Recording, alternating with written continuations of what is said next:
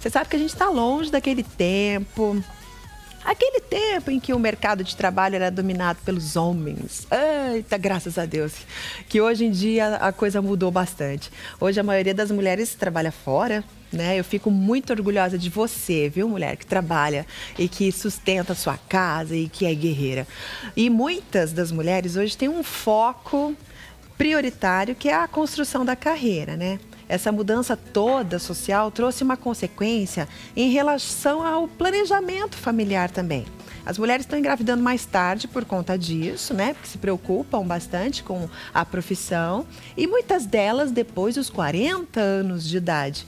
Existe até um dado estatístico do Hospital das Clínicas de São Paulo que revela que a cada seis gestantes atendidas lá, uma tem mais de 35 anos.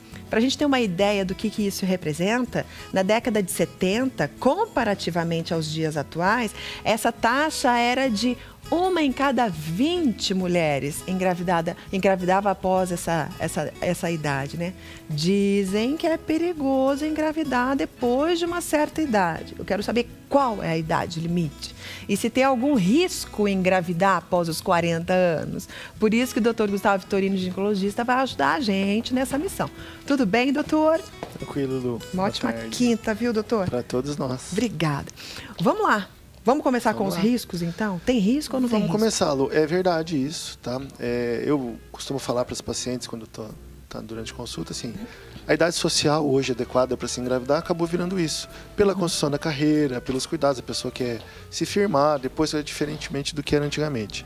Então a idade social ficou dissociada da idade biológica ideal.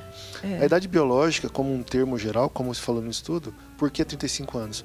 Porque dos 18 aos 35 é a idade que é a melhor idade reprodutiva da mulher. Porque o, o, o nosso útero está mais fértil? Tanto o útero, ele está mais, vamos dizer assim, isento de alterações. É, doenças como mioma, por exemplo, é muito característico, mais comum depois dos 30 anos. É, a própria produção dos óvulos é mais adequada porque é uma célula, vamos dizer, mais madura. Não é nem aquela célula muito jovem uhum. e nem aquela que já está passando da hora de ser usada. Uhum. Então a qualidade da célula é melhor e tanto que reflete nos índices de é, incidência de síndrome de Down. Olha. É, uma coisa que a gente fala, ah, olha, se você tem boa saúde, está tudo bem, é óbvio, você pode ter sim uma gravidez muito saudável depois dos 35 até os 40 anos. Uhum. Os riscos são maiores. Uhum. De falar assim, vamos comparar uma mulher de 40 anos com uma mulher de 25 para ter filhos. Assim, as duas podem ter duas gestações completamente saudáveis e normais. Mas a chance dessa mulher de 40 ter, por exemplo, pressão alta na gravidez, diabetes e outras possíveis complicações é um pouco maior. Não quer dizer que ela vai ter. Os riscos é um são mais para a mulher ou para o bebê? Na verdade, para as duas coisas, né, Lu? Uhum. O índice de parto prematuro, por exemplo, pela e pelo envelhecimento do corpo da mulher é maior. Então aumenta o risco do bebê, por consequência. Diretamente, as doenças sindrômicas genéticas, como a síndrome de Down, começam a aumentar a partir dos 35 anos de idade. E o aumento, assim, a frequência de, acontecimento é maior quanto mais velha for a mulher. Então, uma mulher de 36 já tem um risco um pouquinho maior. Uma mulher de 42 já tem um risco bem maior do que a de 36. Uhum. Isso não quer dizer que o neném vai nascer com síndrome de Down. Mas, mas o aquela... risco é maior. Existe, não sei se é uma teoria, se é uma crença popular, eu, eu sou leiga no assunto, mas de que diz que a mulher, quando ela já tem um filho antes e depois dos 40 ela pensa em ter o um segundo filho, aí tudo bem. Tá não, certo isso? O risco é o mesmo. É o mesmo risco. É o mesmo, independente do número de filhos. Uhum. É uma incidência estatística que existe, Lu. Então, uhum. Então, assim, qualquer mulher, em qualquer idade, pode ter um neném com síndrome de Down. Uhum. É uma doença, é uma falha genética que foi gerada naquela fecundação. É, só que esse risco se mantém muito estável entre os 18 e os 35 anos. A partir dos 35, o risco começa a aumentar. Sendo maior no último ano antes de você estar na menopausa, que não engravidaria mais. Então chegando até 15%. Mas, você mas 15% é bastante com relação à idade ideal, que é 0, qualquer coisa por cento. Uhum. Só que o risco ainda é muito maior de ter um neném normal. 85% das vezes o neném vai, não vai ter nada. E também é mais difícil da mulher acima dos 40 engravidar, né? Já começa a ficar mais difícil. A fertilidade começa a diminuir a partir dos 35 uhum. e pode acontecer sim uma dificuldade Tem que depois fazer dessa o quê? idade. Uma... Não, Lu, aí depende da causa. Hum. Porque se for uma causa, por exemplo, do funcionamento hormonal dela, fica difícil, mais difícil uhum. a gente uhum. resolver. Ah, se for uma falha de ovulação, se for um mioma, se for uma outra doença concomitante, você trata essa doença e pode conseguir a gravidez. Doutora, a gente, eu tenho certeza que lá no, no teu consultório deve receber algumas pacientes, né, com a idade acima dos 35, acima dos 40, que querem, têm o sonho de engravidar do primeiro filho, aí que tem vários medos, né? Esses medos todos aí, dessas complicações todas para elas e também para o bebê. Mas existe alguma vantagem? Tem aí no fundinho alguma vantagem de se engravidar depois dessa idade ou não? Lu, a vantagem é a estabilidade social que você atingiu. Uhum. Que você está numa idade mais madura, você pode se preparar um pouco melhor para cuidar de um neném, que muda radicalmente a vida da mulher. Uhum. Então, esse preparo, essa vantagem existe. Você fala assim, olha, eu vou conseguir programar e dar tudo que eu quero dar para o meu filho, que às vezes eu não tive, minha mãe não teve esse preparo, esse cuidado antes. Essa é a vantagem. Uhum. Do ponto de vista biológico, médico, uhum. não tem muita vantagem não. Não tem muita vantagem não. Não. Dos 18 aos 35 sempre vai ser a melhor idade para engravidar.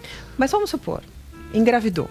Tá lá uhum. feliz da vida, engravidou, tá tudo ok, né? Teoricamente, com o bebê e com uhum. ela. Uh, o, quais são os cuidados? O que, que ela tem que se preocupar uma vez que ela engravidou nessa idade acima? É, o cuidado, hoje a gente fala muito do ácido fólico, de se suplementar ácido fólico para as mulheres antes da gravidez, um mês antes mais ou menos, já começar a usar. O que, Isso que é o ácido evita, fólico? Ácido fólico é, é, vamos dizer assim, é uma vitamina, falar popularmente como o pessoal conhece, que evita anemia. Mas a gente sabe que mulheres com deficiência de ácido fólico têm um risco aumentado de que o bebê tenha uma malformação do sistema neural dele.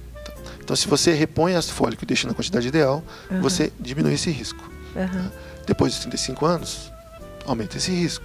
Então, programar a gravidez, passar, fazer os exames todos que tem que fazer, se cuidar em ter que usar o que a gente precisa, como ácido fólico, por exemplo, e se manter saudável até lá. Uhum. Isso é o mais importante. Assim, você pega uma pessoa que fuma, que bebe, que está acima do peso, que não faz atividade física. Aí piora tudo isso. Né? Tudo isso vai aumentar mais ainda o risco dela. Se é uma pessoa que chegou, se cuida, mantém peso, mantém dieta, não é hipertensa, uhum. não tem diabetes, não fuma, tudo isso vai colaborar para que ela tenha uma gravidez mesmo depois de 35 uhum. saudável. Saudável. Tá? Agora, quanto menos ela se cuidar, pior vai ser. Doutor, o ácido fólico a gente sabe que a gente encontra em alguns alimentos, né? Sim. Principalmente em alimentos de co coloração verde escura, como brócolis, couve, né? É, enfim. Mas neste caso é uma suplementação, é uma cápsula extra, é um comprimido. Porque a, a, alimentação usa. não seria o Às vezes né? a alimentação, no Brasil inclusive, há alguns anos o governo já decretou que as farinhas, por exemplo, uhum. sejam acrescidas de ácido fólico. Olha. Porque existe uma ingesta inadequada uhum. de alimentos que contenham isso e muitas pessoas tinham uma deficiência. Então, para a gravidez, quando a pessoa está no médico e programa é, ficar grávida, a gente suplementa antes de engravidar. A Tereza ligou aqui, um beijo para você, Tereza.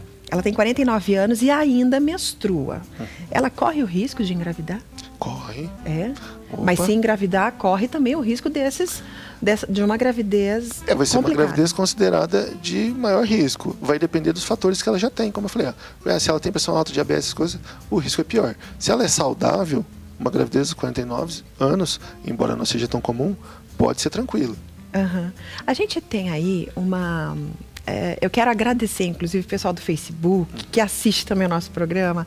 E a Meriko Matsuoka Bento, ela engravidou com 42 anos de idade. Então, eu até selecionei a tela, se, se a produção puder colocar a tela cheia aí para a gente ver.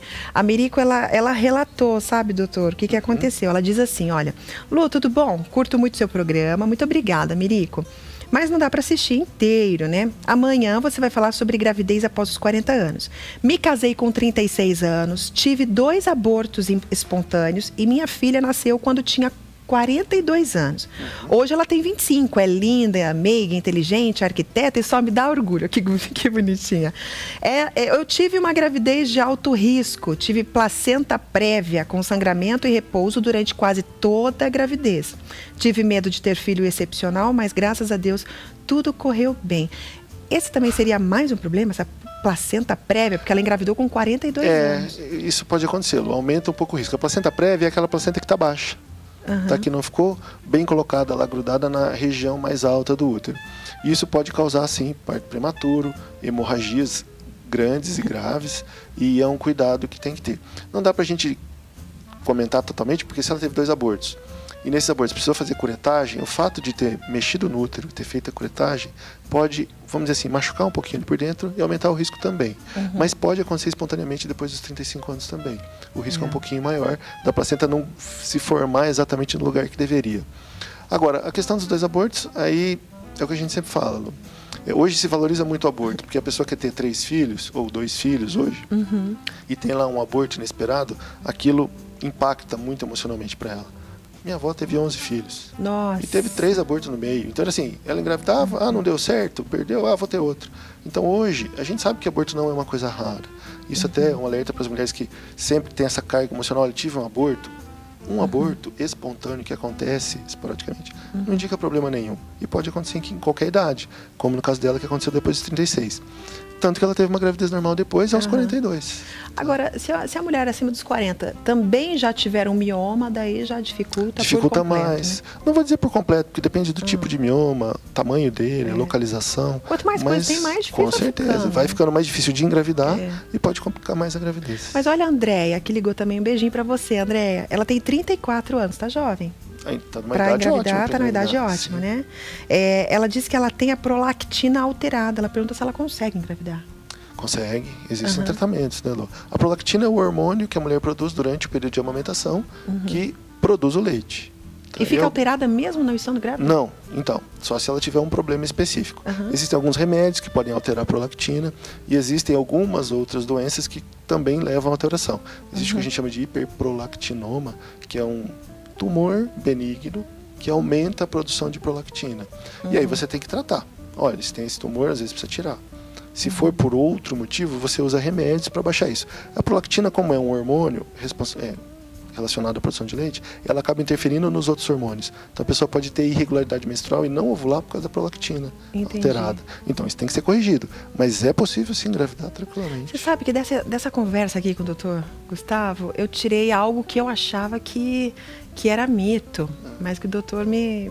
talvez também para você, que a, a, mulher que já tem filhos ou que já teve filhos antes dessa idade considerada de risco, né, para nova gestação, ela não teria problema algum. Então vamos supor, se você com 20 e tantos anos ou até seus 30 anos você já teve lá seus dois filhos, e pensem lá com seus 40 anos ter mais um ou dois, se ausentar desses riscos todos, né, da idade para gestação, eu achava que a mulher não teria mais risco, já teve, o corpo já está preparado, mas não, doutor Gustavo. O risco é o mesmo, independente de você já ter tido filhos uhum. ou não. Passou dessa idade, vamos dizer assim, o, a gente não está velho, né, Lu? Os 45 uhum. anos somos jovens. É. Tá? Só que as nossas células já têm um processo de maturação diferente. Uhum. Então o risco está ali, independente do é. número de filhos. É como se você dizer, ah, por dentro a gente não está muito bem, entendeu? É. Né? É, é, injusto isso, porque os homens com 90 anos ainda estão fabricando, tão né? ainda estão fabricando, é isso aí.